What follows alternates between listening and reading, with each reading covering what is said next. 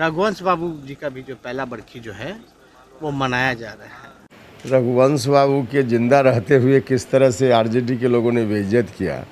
सब लोगों को मालूम है। नमस्कार, मैं हूँ देवांशु। आप देख रहे हैं न्यूज़ फॉर नेशन आरजेडी के उपाध्यक्ष रहे रघुवंश प्रसाद ने अपने आखिरी वक्त में एक चिट्ठी सीएम नीतीश कुमार के नाम लिखा था।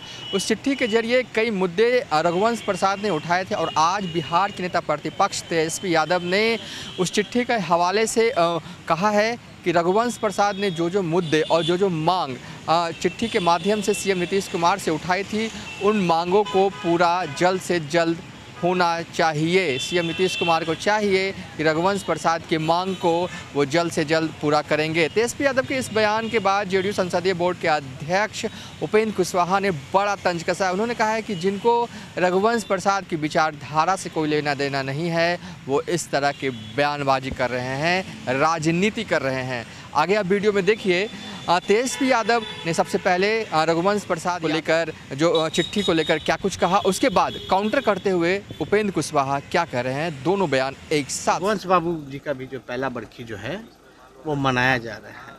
रघुवंश बाबू तो हम लोगों के नेता रहे।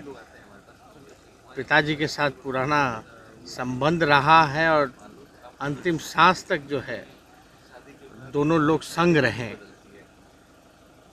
उस को लेकर के न्योता देने हमारे पास आए थे। सत्य प्रकाश जी जो रघुवंश बाबू जी के जो बेटे हैं। लेकिन हमारी मांग रहेगी राज्य सरकार से। आपको याद होगा कि रघुवंश बाबू ने चिट्ठी लिखी थी। उस चिट्ठी में मांग की थी सरकार से कि कुछ काम जो है, सड़क का या कुछ द्वार का, उसका निर्माण जो है, सरकार जो है करवाए। अब एक साल हो गया है और अंतिम घड़ी में रघुवंश बाबूजी ने वो चिट्ठी नीतीश कुमार जी के नाम लिखी थी कि इस काम को जो है पूरा करवाइए। वो एक साल हो गया अब तक वो काम नहीं हुआ। एक तो हम लोग चाहेंगे कि उस चिट्ठी में जो उनकी जो मांग थी राज्य सरकार जो है उसको पूरा करे नीतीश कुमार जी पूरा करें। दूसरी हमारी मांग रहेगी कि रघुवंश बाबूजी और स्वर्गीय रामविलास पासवान जी का जो है राजकीय समारोह में उनको इंक्लूड किया जाए। रघुवंश बाबू के ज़िंदा रहते हुए किस तरह से आरजेडी के लोगों ने बेइज्जत किया, सब लोगों को मालूम है। ठीक है, उनकी मूर्ति लगे न लगे एक अलग विषय है, और उस पर कोई और दूसरा डिमांड करे तो बात समझ में आती है।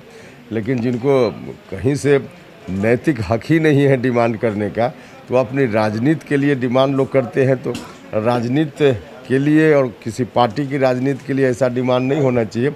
एक्चुअल में डिजर्व करते हैं तो उसके आधार पे अगर कहीं से कोई डिमांड होता है तो निश्चित रूप से ठीक है। गए तो अरे दो सीट जीतेंगे ही नहीं।